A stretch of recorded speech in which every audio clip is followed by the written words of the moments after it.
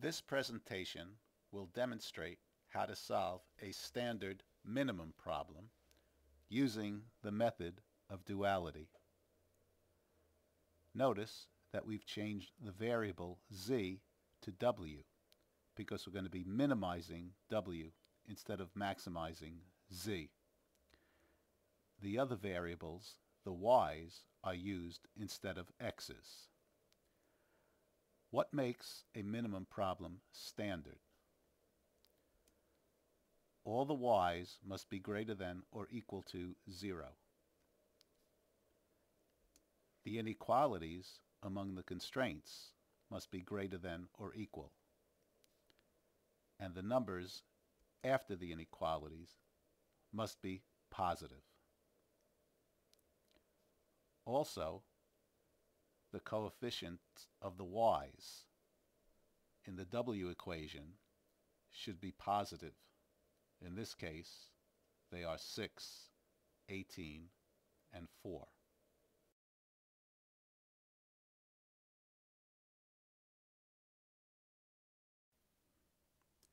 Since we know how to solve standard maximum problems, our goal will be to transform this standard minimum problem into a standard maximum problem.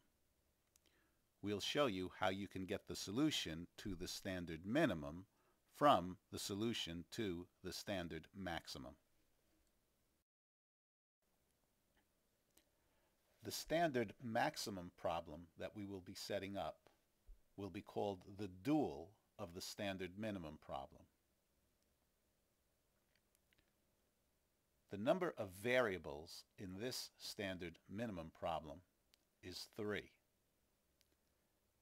That will be the number of constraints in the standard maximum problem. Similarly, the number of constraints in this standard minimum problem is 2. That will be the number of variables in the standard maximum problem.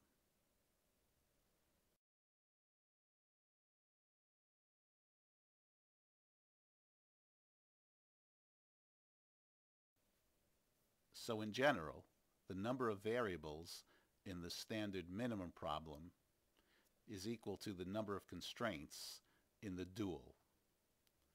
And the number of constraints in the standard minimum problem will be the number of variables in the dual.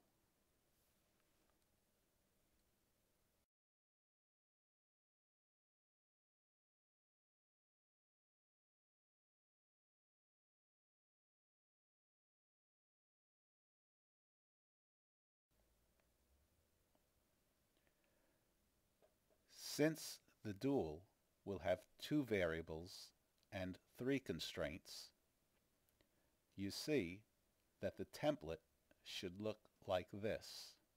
Maximize z equals number times x1 plus number times x2, subject to three constraints, all of the form number times x1 plus or minus number times x2 is less than or equal to a number. All of the inequalities in the dual among the constraints must be of the less than or equal type since this will be a standard maximum problem. Now let's see how to place the numbers into the dual. The numbers 12 and 5 after the inequalities in the minimum problem become the coefficients of x1 and x2 in the z equation. So the dual reads maximize z equals 12x1 plus 5x2.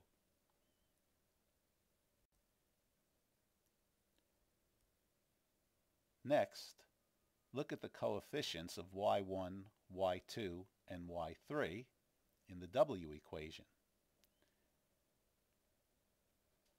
They become the numbers after the inequalities in the dual.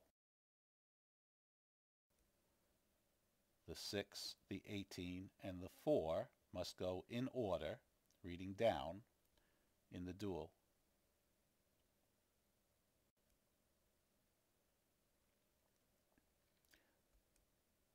The coefficients of y1 in the constraints are 2 and negative 1.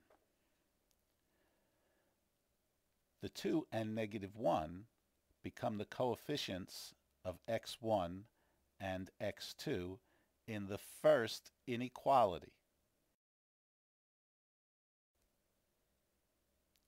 So the first inequality reads 2x1 minus x2 is less than or equal to 6.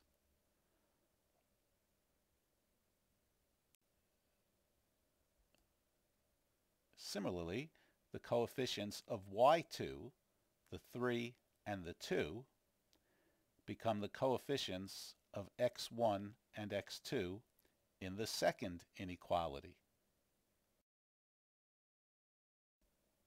So the second inequality is 3x1 plus 2x2 is less than or equal to 18.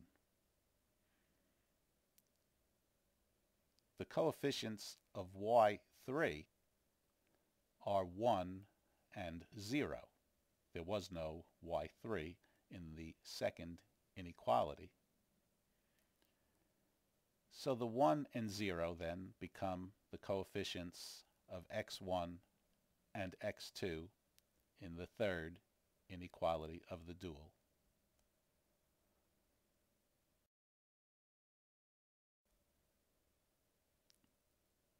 So the third inequality reads 1x1 plus 0x2 is less than or equal to 4,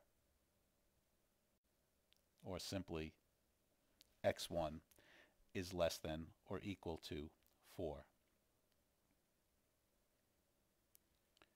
You should now review how to solve a standard maximum problem. We will do so and then show how you get the solution to the standard minimum. This is the initial simplex table resulting from that standard maximum problem. Since there are three constraints, there are three slack variables, S1, S2, and S3. We begin by pivoting. The pivot column is the X1 column. And the pivot row will be the first row because of the ratios 3, 6, and 4, 3 being the smallest positive ratio.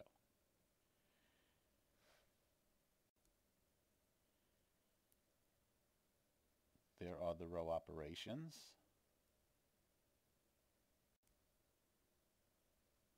And that's the new matrix.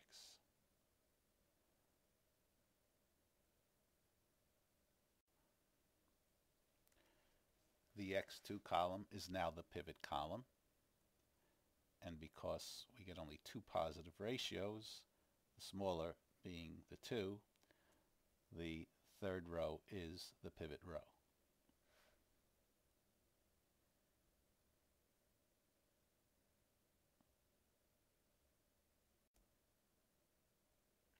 Before continuing, we'll divide rows 1 and 2 by 2.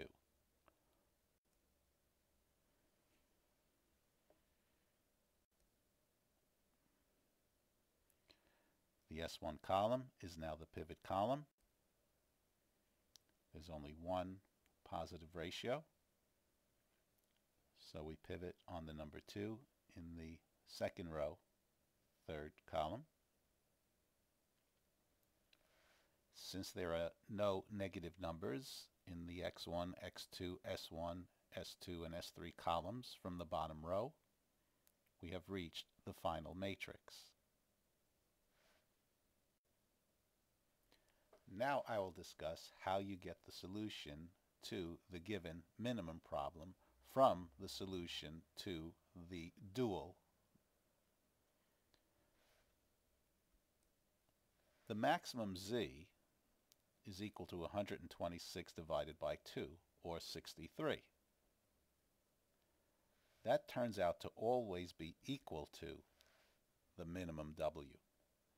So the minimum w in this example is equal to 63. What's just as important is what values of y1, y2, and y3 give the minimum w.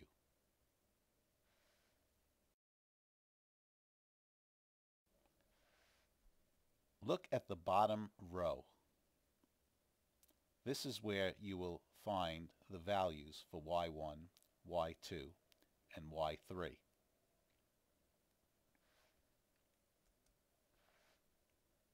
y1 is the number in the S1 column divided by the number in the Z column from the bottom row. So y1 is 0 divided by 2. y1 is 0. Y2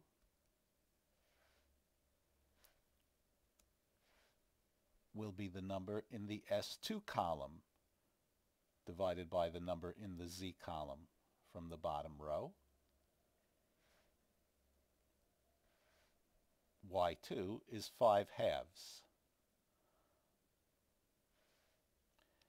And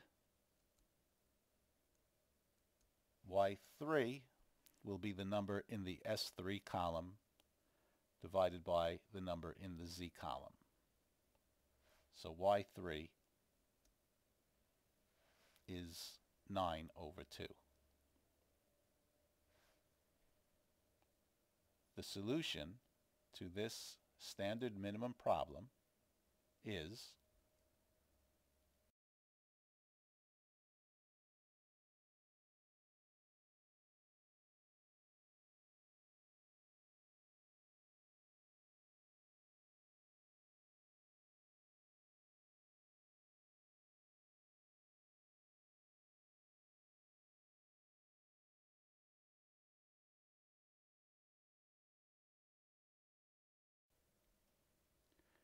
the minimum W equals 63. This occurs when y1 equals 0, y2 equals 5 halves, and y3 equals 9 halves. I'll leave it to you to check that when you substitute 0 for y1, 5 halves for y2, and 9 halves for y3, in the W equation, you will get 63 for W.